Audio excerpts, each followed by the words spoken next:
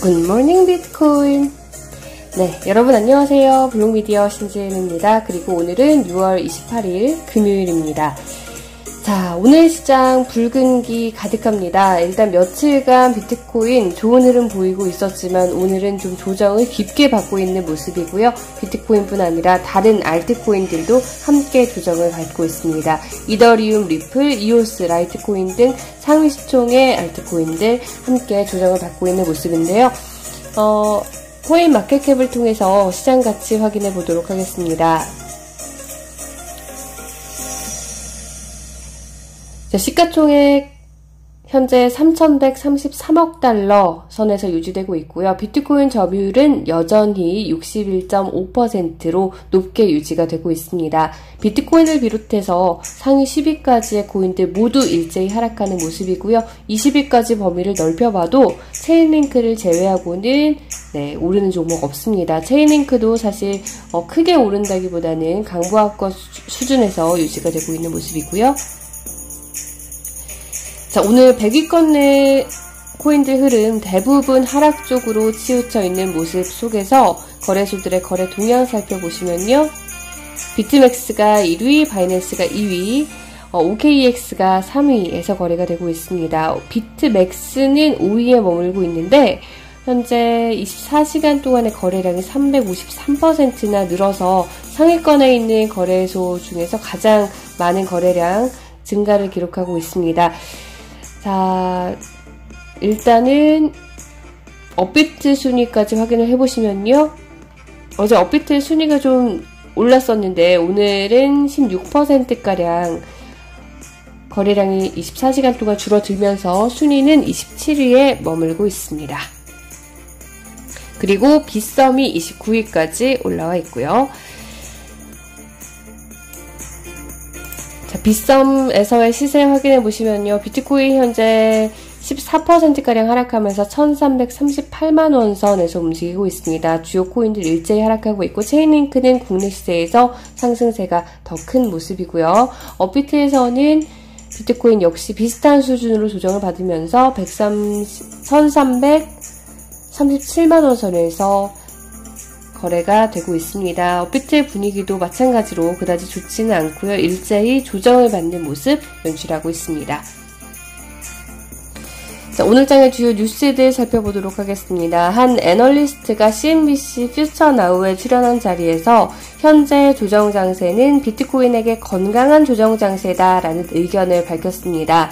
만 달러 위에서 가격의 안정을 찾기 위한 건전한 조정이다라고 이야기를 한 건데요. 사실 제가 며칠 전부터 방송에서 전해드렸다시피 어, 많은 전문가들이 하락이 곧 나올 것이다 라고 예측을 한 바가 있었거든요. 어느 정도의 조정은 필수적이다 라는 의견이 이미 시장에 있었던 상황입니다. 음, 일단 만 달러 위에서 건전한 움직임을 찾기 위한 조정이다 라는 이야기를 했고요. 그리고 연준의 양적 완화 정책이 최근 비트코인의 상승세를 이끈 주요 동력이다라는 의견도 전했습니다. 일단은 연준의 양적 완화 등등 통화 정책에 대한 변화가 사실은 금융시장에서의 안정성을 좀 저해할 수 있는 요소이기 때문에 여기에 대한 해지의 수단으로서 비트코인 같은 대체 자산을 투자자들이 찾았다라는 의견인데요. 이런 의견을 덧붙였네요. 어, 사실 비트코인 투자할 때 조심해야 된다라는 이유는 변동성 때문이잖아요. 맞습니다. 변동성이 크지만 그 변동성 속에서 기회 또한 찾을 수 있다라는 의견을 보이기도 했네요.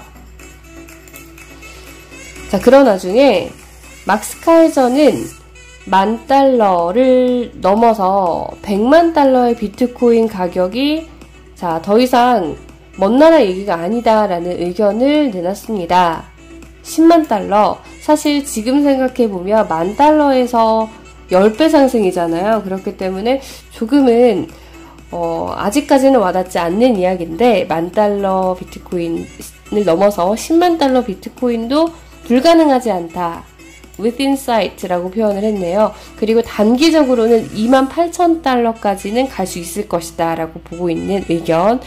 역시 막스카이저도 굉장히 급진적인 암호화폐, 친암호화폐 론자로서 또 가격에 대한 상승 전망을 내놓기도 했네요. 자, 노보그라츠의 의견을 들어보도록 하겠습니다. 노보그라츠는 비트코인이 만 달러와 만 사천 달러 사이에서 가격이 안정화될 것이다. 라고 이야기를 했는데, 어, 근거로 든 것이 페이스북의 리브라입니다. 자, 세상에서 가장 큰 회사 중 하나가 암호화폐를 이야기하고 있는 상황에서, 어, 기관 투자자들이 많이 진입을 하고 있고, 어, 점점 더 기관 투자자들도 이 시장에서 확신을 얻게 될 것이다 라는 의견을 덧붙이기도 했습니다.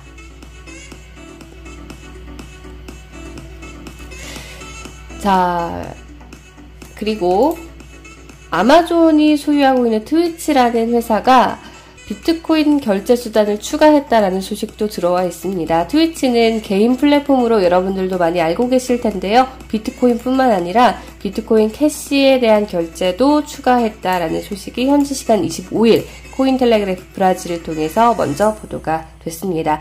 사실 그동안 비트코인과 비트코인 캐시 결제는 살짝 사라졌었거든요. 그러다가 최근에 다시 추가가 된 거고요.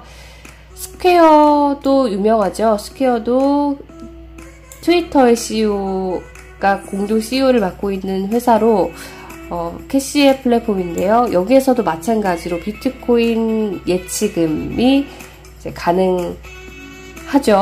네, 이런 소식이 전해졌었습니다. 확인을 해보시면 네, 비트코인 디파짓이 공개가 됐어요. 이런 서비스가 공개가 되면서 실생활에서 비트코인의 활용도가 점점 높아지고 있다는 어, 그 의견에 대한 근거를 하나 더 추가해 준 셈이 됐습니다. 그리고 비트코인 거래 물량이 치솟고 있습니다. 일단 이 기사에서 전달해 드릴 내용은 CME 거래소에 대한 내용인데요. CME 비트코인 선물 거래가 급증하고 있다는 그런 뉴스인데요.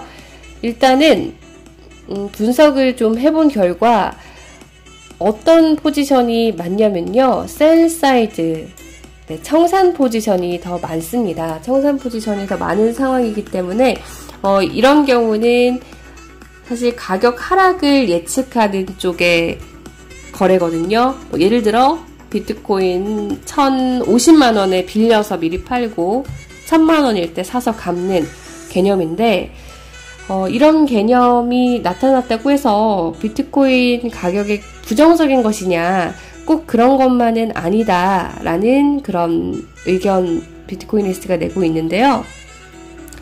일단은 상황부터 파악을 해보시면 헤지 펀드가 지금 청산 포지션을 14% 정도 더 갖고 있다라는 내용인데, 음, 그럼에도 불구하고 여전히 강세를 뒷받침할 수 있다는 의견인데요.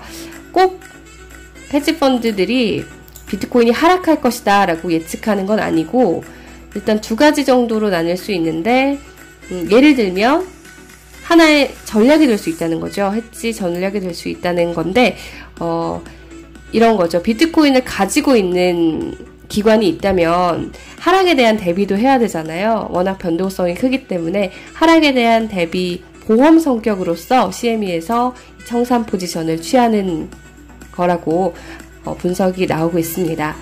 자, 그리고 여전히 small investor 개인 투자자들은 비트코인에 대한 긍정적인 입장을 견지하고 있다라는 것도 꼭 비트코인이 하락 쪽으로 추세 전환을 했다라고 보기에는 어, 좀 성급한 일반화가 아닐까 하는 그런 의견을 뒷받침해주고 있다라는 소식입니다. 어, 오늘은 그리고 금요일이죠. 금요일인데 비트코인 등급이 B 플러스로 상향 조정됐다는 WCR 저희 유료 구독 컨텐츠의 의견입니다. 일단 비트코인 등급은 B 플러스로 상향 조정됐고요. 자세한 내용은 저희 유료 구독자 분들께만 공개가 된다는 점 양해 부탁드리고요. 리플의 평가가 어려운 이유, 네, 리플 여러 가지 뭐 전망들이 나오고 있는데 조금 더 깊이 있는 분석을 위해서 와이스 레이팅스에서 리플의 평가가 어려운 이유에 대한 또 평가 등급을 제시를 했네요. 자, 이더리움을 통한 자금 세탁 규모만 20조 원 이상이다. 보안기업 소의 보고서도 나왔고요. 어제 저희가 보도를 해드렸습니다. 이더리움을 통해 자금 흐름 추적을 어렵게 하는 거래 규모만 31조 원이다. 범죄 자금 세탁에 열리는 규모가 20조 원에 달한다라는 소식 들어와 있는데요. 자, 최근 국제자금 세탁 방지 기구에서 암호화폐 거래 관련 규제 권고안을 발표한 상황에서 이러한 보고서가 나왔 다는 거 참고해 주시길 바라겠습니다. 자, 그리고 마지막으로 CME 거래소에서 7월 비트코인 선물 현재 1880선에서 머물고 있습니다. 자, 오늘 시장 많이 조정을 받고 있는 모습이죠. 하지만 네. 비트코인 알다시피 좀 변동성이 강한 장세기 때문에 이미 여러분들께서도 어, 이런 정도의 급락에 대해서는 좀 어느 정도 익숙해지셨을 텐데 추세 전환이냐 아니면 상승 속에서 잠깐의 숨고르기냐 이건 또 시간이 해결해 줄 문제일 것 같습니다. 오늘 금요일입니다, 여러분. 금요일 하루도 즐겁게 보내시고요. 주말에도 저희와 함께 계속해서 암호화폐 시황 그리고 주요 뉴스들 확인해 나가시길 바라겠습니다. 그리고 제가 감기에 걸렸다고 많은 분들이 응원을 해주셨는데 너무 감사드리고요. 이번에 감기가 좀 많이 독해서 어, 방송에서 따로 언급하지 않았지만 여러분들이 또 응원을 해주신 것 같아요. 여러분들도 감기 조심하시고요. 저도 다음 주에 방송 찾아뵐 때는 조금 더 건강해진 모습으로 찾아뵐 수 있도록 노력하겠습니다. 시청해주신 여러분 고맙습니다. 다음 주에 뵐게요.